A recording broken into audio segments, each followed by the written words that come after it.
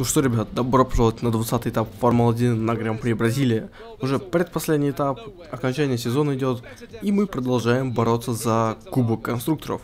После этапа в Мексике мы довольно близко приблизились к Вильямсу, и сейчас разрыв составляет всего лишь 40 очков. Что это значит? То, что нам надо приехать в очковой зоне и заработать на 20 с чем-то очков больше, чем Вильямсы сделают этот этап.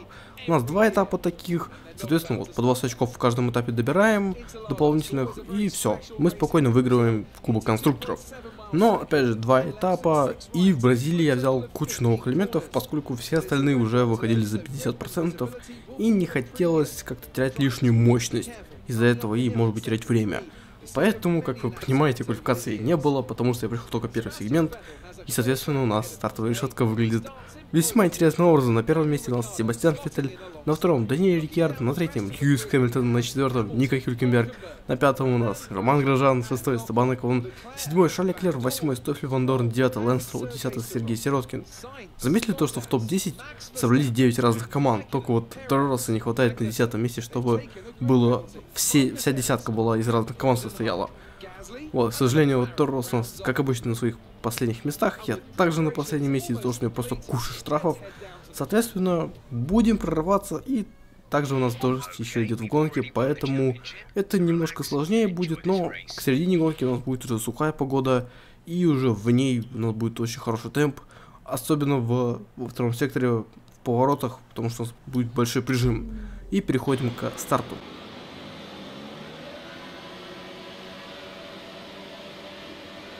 Гаснут огни, я срываюсь кое-как с места, кое-как стартую пробуксовкой небольшой и по итогу отпускаю как обычный пилотон, но тут же по внутренней траектории прохожу половину пилотона, толкаю немного босса, чтобы он подвинулся, слава богу не сломался переднее крыло, но получил небольшой штраф.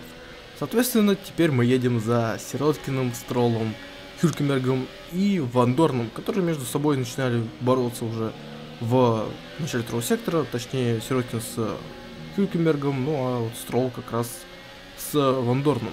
По итогу Вандорн остоял свою позицию, Хюкенберга мы, к сожалению, выпихнули, ну и также из-за этого у нас выехала виртуальная машина безопасности, точнее появилась. После этого, после рестарта, я немного погонялся за предыдущими Вильямсами и смог разом сразу их двоих опередить. Потом я пытался безболезненно опередить Вандорна, чтобы не помешать ему, но, как обычно, хочешь как лучше, но получается как всегда. По итогу я вылетел, потом еще по внутренней траектории пытался залететь. Вандорн отрулил еще при этом. И по итогу мы потеряли время, потому что пилотон спереди начал отрываться. Ну и нас догнали Вильямсы. Потом я предпринял довольно интересную тактику помешать Вильямсам. Ну и, собственно, да, подобное вы будете наблюдать на этом этапе и на следующем. На этом в меньшей степени, потому что я не особо пытался им прям так конкретно навредить. Но в Абу-Даби вас ждет уникальное шоу. Ну, собственно, вы увидите, почему это шоу вас ждет. Собственно, Строл проходит Вандорна из-за этого еще, и по итогу Строл начинает просто отъезжать от Вандорна. Не знаю, что у Вандорна в тот случилось. Может быть, было повреждено переднее крыло. Да, кстати, вроде оно было повреждено в одном из эпизодов. Ну и также у Сироткина оно тоже было повреждено, вы можете заметить по отрыву, собственно, от него. Вандорна прошел в начале третьего сектора и уже погнался за пилотоном впереди со Стромом вышел через следующий круг у меня следующая ситуация, то что я решил силой отобрать позицию, выгнать его за предел трассы, чтобы он Ван Дорн еще успел пройти. Но, к сожалению, Ван Дорн не успел пройти, и по итогу он начал даже отставать потихоньку, потому что Сирокина все-таки было все нормально с машиной. После пидстопа я выезжаю позади всех по большей части, ну и также начинаю уже борьбу за 17 место. Хартли пытался меня опередить, Снегасли, но у него это не вышло. После этого я погнался за предыдущими э, Рено, Залбером и Хасом. С Рено, в принципе, у меня получилось разобраться еще в середине второго сектора. Чуть позднее затормозил, втиснулся между ним и Эриксоном.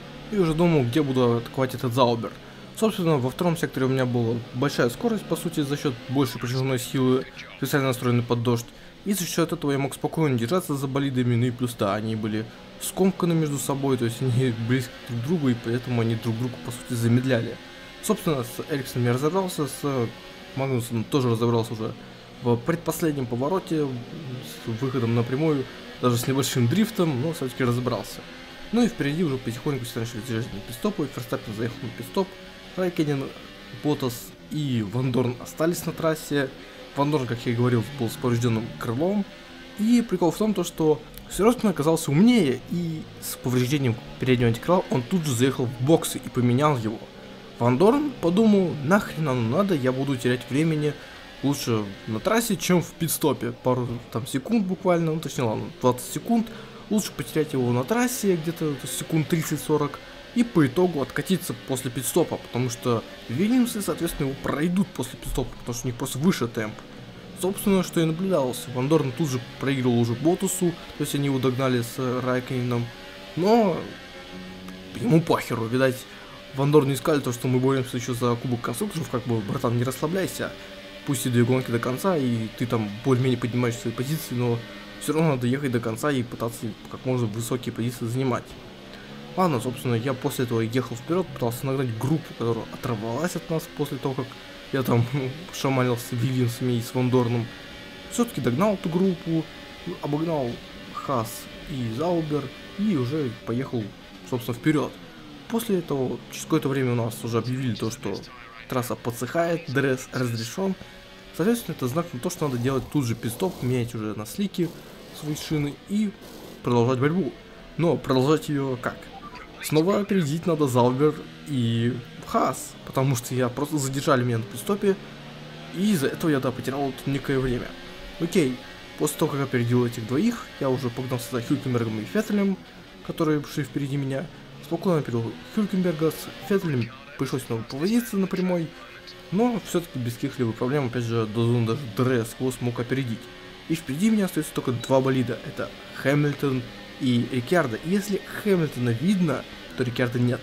Он был очень далеко на своем Редбуле, и был он где-то в примерно 15 секундах от меня. Вот, собственно, он по миникар сейчас приезжает по старт-финишной прямой.